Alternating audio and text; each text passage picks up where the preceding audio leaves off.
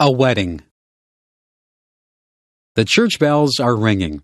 I am inside the church waiting for my cousin to walk down the aisle. Today is her wedding day.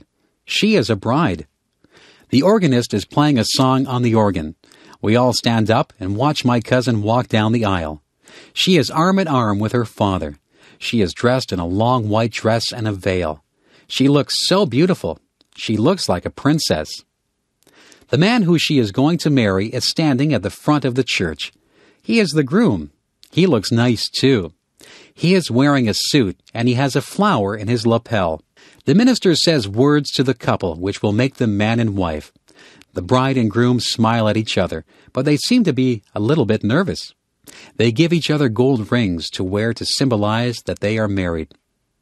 They kiss each other and walk out of the church as the organist plays joyous music. Some of the people in the church cried at the wedding, but not because they were sad. Everyone in the church is very happy for the couple. A photographer takes pictures of the happy couple.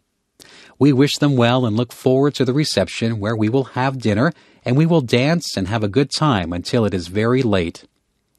The bride will throw her bouquet of flowers, and it is said whoever catches the bouquet will be the next bride. The next day, the bride and groom will leave for their honeymoon.